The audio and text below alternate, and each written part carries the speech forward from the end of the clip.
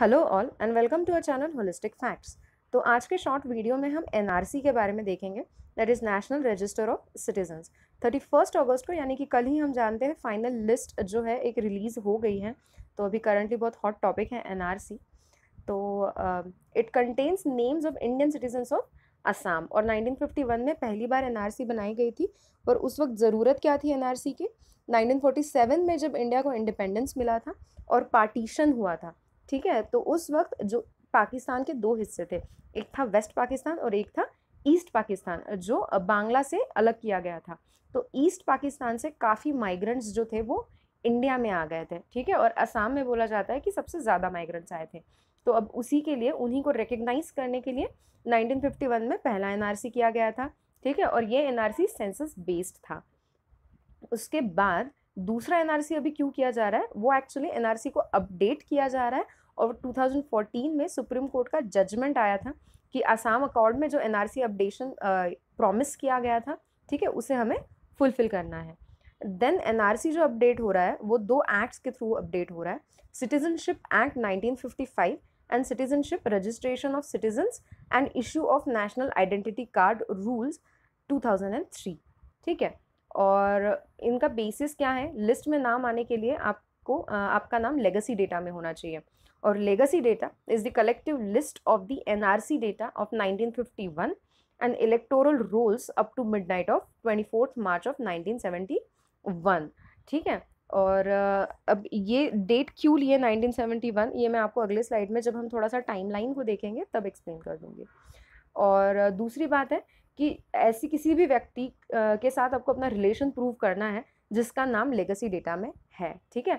अगर आपका खुद का नाम लेगेसी डेटा में नहीं है तो किसी ऐसे व्यक्ति के साथ रिलेशन प्रूव कर दो, जिसका नाम लेगेसी डेटा में है तो आपका नाम एनआरसी में आ सकता है, ठीक है? तो अभी हम जिस तरीके से इवेंट हुए हैं, वो टाइमलाइन थोड़ी सी देख लेते हैं।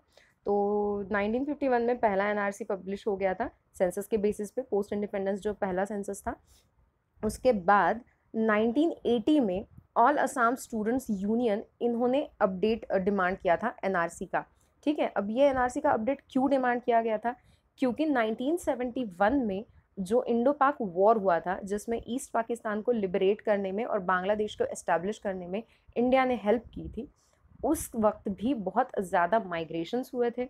ठीक है और इसी के चलते हुए जो भी इलीगल माइग्रेंट्स थे, उनको रिकग्नाइज करना था और उसके लिए आँसू ने बोला था that is all Assam student union इन्होंने बोला था कि एनआरसी को अपडेट कर लेना चाहिए, ठीक है? तो 1985 में फाइनली आसाम अकॉर्ड बना, जिसमें गवर्नमेंट ने ये अग्री किया कि हम एनआरसी को अपडेट करेंगे, ठीक है? फिर आते हैं हम जुलाई 2019 के तरफ़।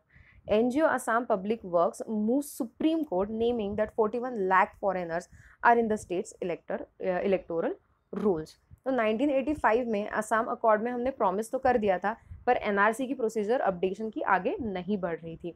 फिर इस एनजीओ ने बोला कि बहुत ज़्यादा जो फॉरेनर्स हैं वो हमारे इलेक्टोरल रोल्स में हैं राइट वो इंडियन सिटीजन्स नहीं हैं। तो अब प्रेशर आ जाता है, ठीक है? तो अब एनआरसी को तो अपडेट करना ही पड़ेगा। तो सेंटर डिसाइड करता है 2010 में कि हमें एनआरसी अपडेट करना है। तो बारापेटा में एक पायलट एनआरसी का प्रोजेक्ट जो था बाला बारापेटा और चायगांव। तो वहाँ पे पायलट प्रोजेक्ट किया पर वहाँ पे बहुत ज़्यादा वायलेंस हुआ था तो उस वक्त भी इस चीज़ को अबैंडन कर दिया गया था। फिर उसके बाद हम जानते हैं कि 2014 में सुप्रीम कोर्ट ने आ, बोला था कि एनआरसी को अपडेट करना है। असम अकॉर्ड को काफ़ी साल हुआ है and we have to fulfil it फिर अभी फाइनली एनआरसी का एक प्रॉपर प्रोसीजर शुरू हुआ। बहुत सारे फॉरेनर्स ट्रिब्यूनल इस्टेब्लिश किए गए डिटेंशन सेंटर्स इस्टेब्लिश किए गए थे, ठीक है? और 2017 में दिसंबर में फिर से अपडेटेड एनआरसी का पहला ड्राफ्ट पब्लिश किया गया, जिनमें से 1.9 करोड़ लोगों का नाम लिस्ट में नहीं था और 3.29 करोड़ टोटल एप्लीकेंट्स थे, ठीक है? उसके बाद 2018 में फिर से एक राउंड किया गया और फिर से एक ड्राफ्ट पब्लिश किया गया। अब मैक्सिमम लोगों का नाम जो है वो लिस्ट में ले लिया गया था, पर 41 लाख लोग फिर भी एक्सक्लूडेड थे। 2019 में जून में फिर से एक लिस्ट बनाई गई, जब रीवेरिफिकेशन किए गए थे, ठीक है? रीवेरिफिकेशन मतलब वही होता है कि गलती से अगर प्रोसीजर में कोई भी फॉरेनर जो है, वो इंडियन सिटीजन मान लिया गया है या फिर कोई सिटीज़न है, जो फॉरेनर मान लिया गया है तो ऐसे डिस्क्रिपेंसीज को कम करने के लिए रीवेरिफिकेशन होता है। तो रीवेरिफिकेशन के बाद एडिशनल 1.02 लाख लोगों के नेम जो थे, वो एनआरसी से एक्सक्लूड कर दिए गए थे। और अब दोबारा थर्टी अगस्त 2019 को एक फाइनल लिस्ट लाई गई थी कल ही, ठीक है? जिनमें से अब 19 लाख लोगों के नेम जो है, वो एक्सक्लूडेड है। तो इन टोटल अभी जितने भी लोगों ने अप्लाई किया था, उनमें से 19 लाख लोगों लोगों के नाम जो है वो लिस्ट में नहीं है, ठीक है? वो एक्सक्लूडेड है। अब इन लोगों को एक टाइमलाइन दी गई है कि 120 डेज़ के अंदर आप फिर से अप्लाई कर सकते हो, आपको फिर से चांस दिया जाएगा, ठीक है? फिर से वेरीफाई किया जाएगा। और अगर आप प्रूव कर सकें विथ प्रॉपर क्रेडेंशियल्स तो आपको एनआरसी में लिया जा सकता है। ठीक है? तो 120 डेज़ का टाइम पीरियड अभी दिया है। और अभी हम ये भी जानते हैं रिसेंटली कि हमारे जो एक्सटर्नल अफेयर्स मिनिस्टर हैं, जयशंकर, इन्होंने बोल दिया है कि ये एनआरसी जो है वो इंडिया का इंटरनल मैटर है। तो ये जितने भी लोग अभी एक्सक्लूडेड रहेंगे, उनको फॉरेनर बोला जाएगा। सिर्फ़ तभी जब उनको फॉरेनर ट्रिब्यूनल में प्रूव कर दिया जाएगा कि ये फॉरेनर्स हैं। और उसके बाद इनका क्या होगा?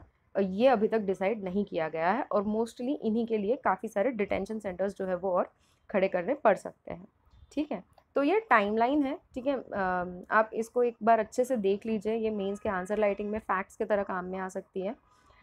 देन हम कुछ और रिलेटेड टर्म्स इसमें देख लेते हैं। डूबियस वोटर या फिर डाउटफुल वोटर ये टर्म बहुत ज़्यादा चर्चा में रही है फ़िलहाल तो हम uh, इसको देख लेते हैं। It is a category of voters in Assam who are disenfranchise by state government for lack of proper citizenship credential अब डिसनफ्रेंचाइज मतलब अब देखो, इनका नाम वोटर्स लिस्ट में तो है, इसलिए इनको वोटर बोला गया है। मतलब इनको फ्रेंचाइजी दी गई है। बट स्टेट गवर्नमेंट ने इनसे फ्रेंचाइजी निकाल ली क्योंकि other than that voters card या फिर other than their name in the electoral roll उनके पास सिटीजनशिप प्रूव करने के लिए और कोई क्रेडेंशियल्स नहीं है। इसलिए इनको बोला गया है डाउटफुल वोटर या फिर डूबियस वोटर और फिर इनके ऊपर फॉरेनर्स ट्रिब्यूनल में ट्रायल्स चलेंगे और फिर डिटरमाइन किया जाएगा कि इनमें से कौन फॉरेनर्स है और कौन इंडियन सिटीजन्स है। और बेसिकली जितने भी लोगों के नाम एक्सक्लूडेड हैं, उन सबको फॉरेनर ट्रिब्यूनल्स में ट्राई किया जाएगा। ठीक है? और यही हुआ था कि 2011 में गुवाहाटी हाई कोर्ट ने बोला था कि जो भी डूबियस या फिर डी वोटर्स हैं, उनको फॉरेनर्स ट्रिब्यूनल में ट्रांसफ़र कर दिया जाएगा। ठीक है? और उसके बाद डिटेंशन सेंटर में रखा जाएगा। तो ये जो डिटेंशन कैंप्स होते हैं, ठीक है तो अभी आसाम में छः डिटेंशन कैंप्स हैं, या फिर डिटेंशन सेंटर्स हैं, और they are highest among any other states in India ठीक है, और since 1985 when foreign tribunals were setup in Assam till February twenty eight two nineteen almost sixty three sixty four thousand person को foreigner declare कर दिया गया है through all this foreigners tribunals ठीक है।